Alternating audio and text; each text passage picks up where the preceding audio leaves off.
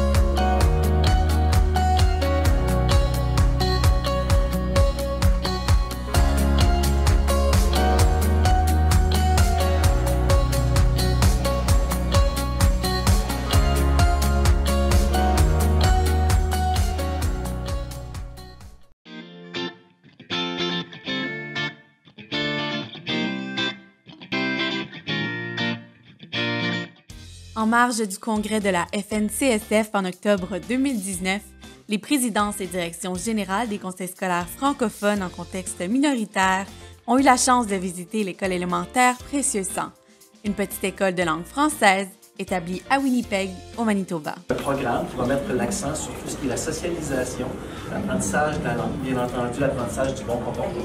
À l'école Précieux Sang, le personnel scolaire a d'ailleurs créé l'acronyme VRAI afin de représenter quatre attributs importants pour l'épanouissement de l'élève au sein de l'école et de sa communauté.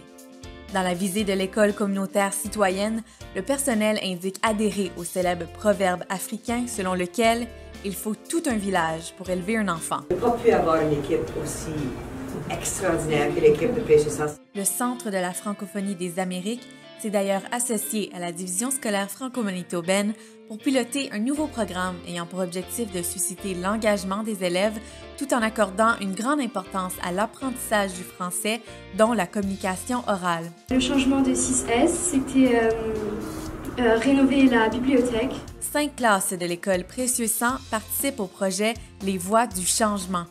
Le but pour chaque groupe est de choisir une cause importante pour sensibiliser la communauté et lui inspirer le changement. On pouvait observer nos élèves dans des situations de pensée critique, de conversation. En vivant le projet Les Voix du changement, les élèves sont invités à relever des problématiques dans leur milieu, à y trouver des solutions et ainsi participer à une action collective pour devenir une école communautaire citoyenne authentique. Pour y arriver, l'approche enquête est privilégiée.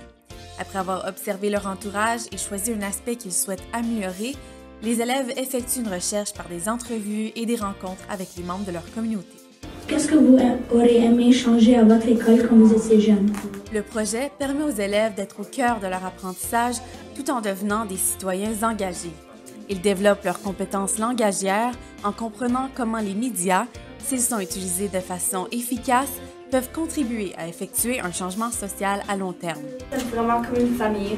On, on a s'argumentait des fois, mais après qu'on s'argumentait, on trouvait toujours une façon de euh, comment dire ça résoudre notre problème. L'école élémentaire est le seul établissement de langue française au Canada qui participe à ce projet pilote. L'objectif est de lancer des initiatives similaires dans plusieurs autres écoles des Amériques. Plusieurs facteurs ont poussé le centre à choisir l'école Précieux Sang mais la diversité a été un grand avantage pour cet établissement qui accueille des élèves de plus d'une trentaine de pays différents.